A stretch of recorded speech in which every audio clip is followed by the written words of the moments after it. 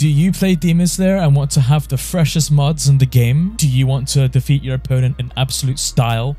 Then you've come to the right place. I'm going to teach you how to install mods on Demon Slayer Hinokami Chronicles. So here is the tutorial on how to get mods for Demon Slayer. So Demon Slayer Hinokami Chronicles has mods and I will show you how to install them. The best website to go for this is actually gamebanana.com. Uh, it's actually a very good website to get mods. There are a couple of other uh, websites that feature mods as well, but you can get some pretty good uh, mods on here. By finding this, I actually went to Google and I literally typed in at the top here, Demon Slayer Hinokami Chronicle mods. Scroll down, you'll find the website Nexus Mods. I didn't find any good ones on there though, but Game Banana option here is a very good one.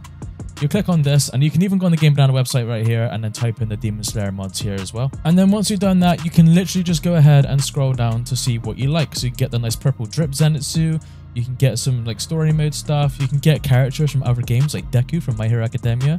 You can even get the Ninja Turtles in there. But basically, you go ahead and choose what one you like and then you go ahead and install it. So I'm to take some time to see what one I'd like to add to my game and then we'll, I'll teach you how to install. So I've had a little look and I do like the look of Red Rui. So we're to go ahead and go for that one. So here is the page. It'll take you to the main page for Red Rui. It'll tell you who the author who made it is and everything like that uh, so you can give them some respect and whatnot. So basically, you just need to go ahead and find the download link, which will be right here. So you go ahead and do this manual download. It'll most likely take you to another page where you can just literally hit the download again. And then it will download this RAR file. It shouldn't take very long because these files are extremely small. And then once you're done with that, you literally can see that it has a .pack file. I will show you where and how to install this file. So basically what you want to do, you want to go to extract to because you need to extract this first before you go ahead and use it. I always do with anything that I install. And then the one place to go ahead and do that is just, I basically dedicated a place where I put my Demon Slayer mods. So I literally have it in my documents here and then I have it in DS mods. So I'm going to go ahead and put it in there.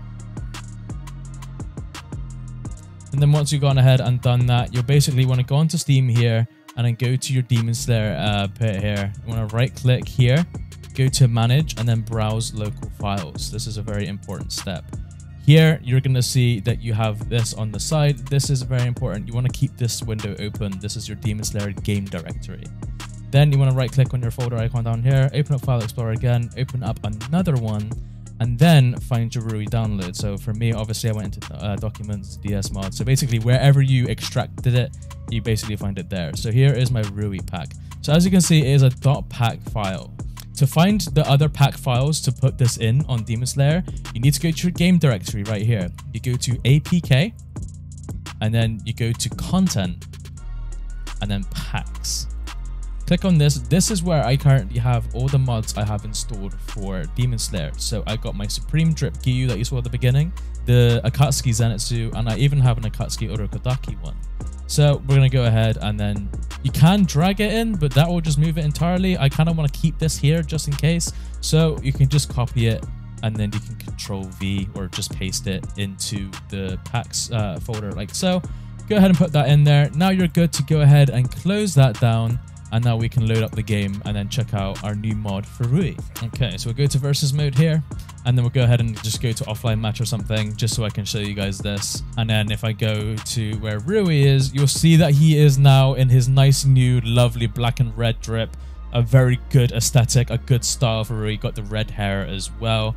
And you can see that it is actually totally playable. I will demonstrate this in the CPU battle, so we'll go ahead here and as you can see, um, the other characters haven't been tampered with or anything. Like you can still see some of the others are still the same. Obviously, Zenitsu, Giyu, and Urokodaki are modded, but the other characters just stay the same. Oh, I forgot Makomo. I did a Makomo mod ages ago. I thought it was kind of cool. But the other characters are still mostly the same. For some reason, he still has his other mod as well. But yeah, other characters are still near enough the same as what they should be. But anyways, we can go ahead and pick Rui here and then we can put him up against the Drip, Makomo, and Urokodaki team. Got a nice little color theme going on with this one. And I will just demonstrate to you that these mods still work perfectly fine as they should. As you can see, all playable. This doesn't actually affect the movesets or anything. Now, there are movesets mods you can get that will affect movesets, and you can get those But in terms of getting those, um, they may they may or may not be on Game Banana. Um, it's just a case of just having a look around on the internet. I'd recommend and seeing what you can find. But yes, as you can see, here is the mod for Rui. I hope that you guys have enjoyed it. Be sure to drop a like on the video, subscribe, and uh, you know. Anyways, it's been your boy Poison Okami. As always, matane.